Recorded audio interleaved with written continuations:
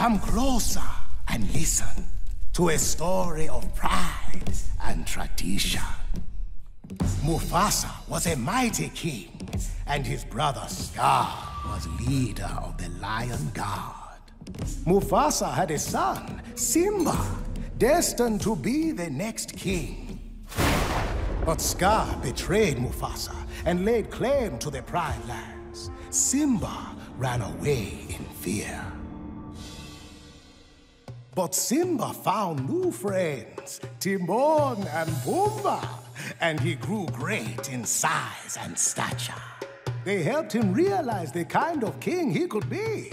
So Simba returned to Pride Rock and defeated Scar.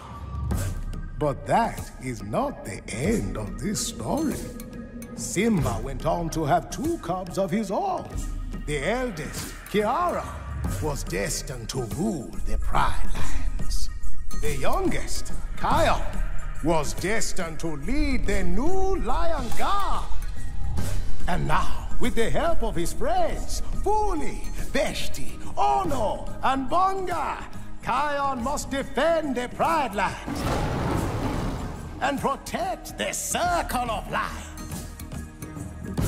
It is time